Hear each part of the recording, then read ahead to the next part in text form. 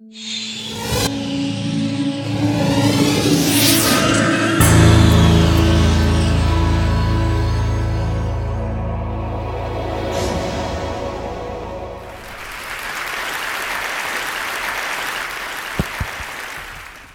morning. Happy to see so many fine folks out here and so many smiling faces. I, um, I have a very peculiar background, attitude, and approach to the real world because I am a conjurer. Now, I prefer that term over magician because if I were a magician, that would mean that I use spells and incantations and weird gestures in order to accomplish real magic. No, I don't do that. I'm a conjurer who is someone who pretends to be a real magician. Now, how do we go about that sort of thing? We, uh, we depend on the fact that audiences such as yourselves will make assumptions. For example, when I walked up here and I took the microphone from the stand and switched it on, you assumed this was a microphone, which it is not. As a matter of fact, this is something that about half of you, more than half of you, will not be familiar with. It's a, a beard trimmer, you see, and makes a very bad microphone. I've tried it many times.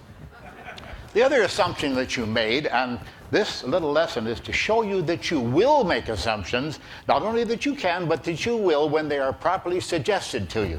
You believe I'm looking at you. Wrong. I'm not looking at you. I can't see you.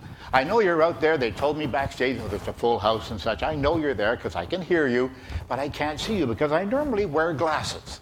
These are not glasses, these are empty frames. Quite empty frames. Now, why would a grown man appear before you wearing empty frames on his face? To fool you, ladies and gentlemen, to deceive you, to show that you too can make assumptions. Don't you ever forget that. Now, I have to do something, first of all, switch to real glasses so I can actually see you, which would probably be a convenience. I don't know. I haven't had a good look. Well, it's not that great a convenience. I have to do something now which uh, seems a little bit strange for a magician, but I'm going to take some medication. This is uh, a full bottle of Calms Forte. I'll explain that in just a moment. Ignore the instructions. That's what the, the government has to put in there to confuse you, I'm sure. Uh, I will take enough of these. Hmm. Indeed, the whole container.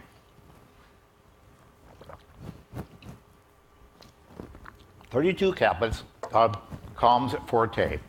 Now that I've done that, I'll explain in a moment. I must tell you that I am an actor. I'm an actor who plays a specific part. I play the part of a magician, a wizard, if you will, a real wizard. If someone were to appear on this stage in front of you and actually claim to be an ancient prince of Denmark named Hamlet, you would be insulted. And rightly so. Why would a man assume that you would believe something bizarre like this? But there exists out there a very large population of people who will tell you that they have psychic magical powers, that they can predict the future, that they can make contact with, with the deceased. Oh, they, they also say they will sell you astrology or other fortune telling methods. Oh, they gladly sell you that, yes. And they also say that they can give you perpetual motion machines and uh, free energy systems. They claim to be psychics or sensitives, whatever they claim. But the one thing that has made a big comeback just recently is this business of speaking with the dead. Now, to my innocent mind, dead implies incapable of communicating. You might agree with me on that. But these people, they tend to tell you that not only can they communicate with the dead, hi there, but they can hear the dead as well, and they can relay this information back to the living. I wonder if that's true. I don't think so, because this subculture of people use exactly the same gimmicks that we magicians do, exactly the same, the same uh, physical methods, the same psychological methods. And they effectively and profoundly deceive millions of people around the earth to their detriment. They deceive these people, cost them a lot of money, cost them a lot of emotional anguish. Billions of dollars are spent every year all over the globe on these charlatans. Now, I have two questions I would like to ask these people if I had the opportunity to do so. First question if I want to ask them to call up, because they do hear them through the ear, they, they listen to the spirits like this. I'm going to ask you to call up the ghost of my grandmother because when she died, she had the family will and she secreted it someplace. We don't know where it is. So we ask Granny, Where is the will, Granny? What does Granny say? She says, I'm in heaven. And it's wonderful. I'm here with all my old friends, my deceased friends, and my family, and all the puppy dogs and the, the kittens that I used to have when I was a little girl. And I love you, and I'll always be with you. Goodbye. And she didn't answer the damn question. Where is the will? Now, she could easily have said, Oh, it's in the library on the second shelf behind the encyclopedia, but she doesn't say that. No, she doesn't. She doesn't bring any useful information to us. We paid a lot of money for that information, but we didn't get it.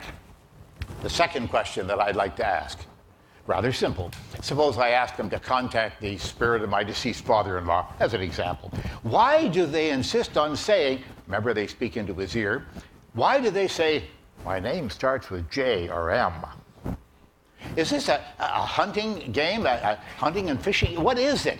Is it 20 questions? No, it's more like 120 questions, but it is a cruel, vicious, absolutely conscienceless, consciencelessness, I'll be all right, keep your seats, game that these people play, and they take advantage of the innocent, the naive, the grieving, the needy people out there. Now, this is a process that is called cold reading. There's one fellow out there, Van Praagh is his name, James Van Praagh. He's one of the big practitioners of this sort of thing. John Edward, Sylvia Browne, and uh, Rosemary Altea, they are other operators. There are hundreds of them all over the world. But in this country, James Van Praagh is very big. And what does he do? He likes to tell you how the deceased got deceased, the people he's talking to through his ear, you see. So what he says is very often, it's like this. He says, he tells me, he tells me before he passed that he had trouble breathing. Folks, that's what dying is all about. You stop breathing and then you're dead.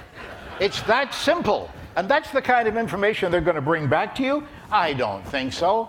Now, these people will make guesses. They'll say things like, Why am I getting electricity? He's saying to me, electricity. Is he, was he an electrician? No. Did he ever have an electric razor? No. It was a game of hunting questions like this. This is what they go through. Now, folks often ask us at the James Randi Educational Foundation, they call me, they say, Why are you so concerned about this, Mr. Randi? Isn't that just a lot of fun? No, it is not fun. It is a cruel farce. Now, it may bring a certain amount of comfort but that comfort lasts only about 20 minutes or so, and then the people look in the mirror and they say, I just paid a lot of money for that reading, and what did she say to me? I love you. They always say that. They don't get any information, they don't get any value for what they spend. Now, Sylvia Browne is the big operator. We call her the Talons. Sylvia Browne, thank you. Sylvia Browne is the big operator in this field at this very moment. Now, Sylvia Browne, just to show you, she actually gets $700 for a 20 minute reading over the telephone. She doesn't even go there in person. And you have to wait up to two years because she's booked ahead that amount of time. You pay by credit card or whatever, and then she will call you sometime in the next two years. You can tell it's her. Hello, this is Sylvia Browne. That's her. You can tell right away.